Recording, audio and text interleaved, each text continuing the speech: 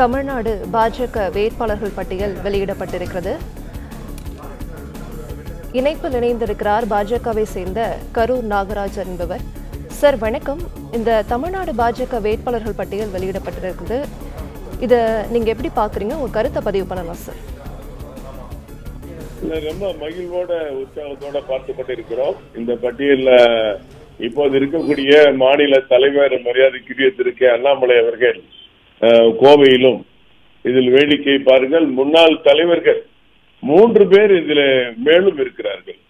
அண்ணன் முன்னாள் மத்திய அமைச்சர் அண்ணன் பொன் ராதாகிருஷ்ணன் அவர்கள் தற்போதைய மத்திய அமைச்சர் மாண்புமிகு டாக்டர் என் முருகன் அவர்கள் முன்னாள் மத்திய அமைச்சரும் முன்னாள் ஆளுநரும் தெலுங்கானா ஆளுநருமான டாக்டர் தமிழிசை சவுந்தரராஜன் அவர்கள்.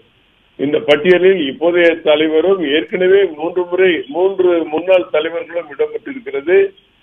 கட்சியினுடைய நிர்வாகிகளுக்கும் தொண்டர்களுக்கும் மிகுந்த மகிழ்ச்சியை அளிக்கும் என்றே கருதுகிறேன்.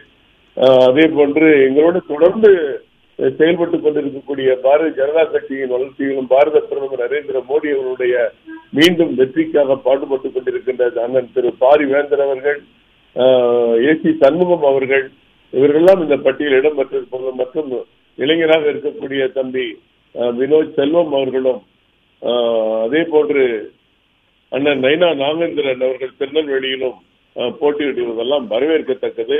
அடுத்த பட்டியலையும் கட்சி நிர்வாகிகளும் தொண்டர்களும் ஆர்வத்தோடு எதிர்பார்த்துக் கொண்டிருக்கிறார்கள். இந்த பட்டியலில் இருக்கிற வேட்பாளர்கள் எந்த அளவிற்கு முக்கியமானவர்கள் பிரபலமானவர்கள் மக்களிடம் புகழ்பெற்றவர்கள் என்பதும் அவருடைய செயல்பாடுகள் எந்த அளவிற்கு சிறந்த வகையில் இருக்கிறது என்பதும் சமீபத்திய எண்மண் எண் மக்கள் பயணத்தை வெற்றிகரமாக முடித்த மாநில தலைவர் அவர்களே நேரடியில் களத்தில் இருப்பது பாரதிய ஜனதா கட்சியின் தொண்டர்களுக்கு நாடாளுமன்ற தேர்தலுக்கு ஒரு புதிய உத்வேகத்தை அளித்திருப்பதும் வரவேற்கத்தக்கது வாழ்த்துக்குரியது என்பதை தெரிவித்துக் கொள்கிறேன்.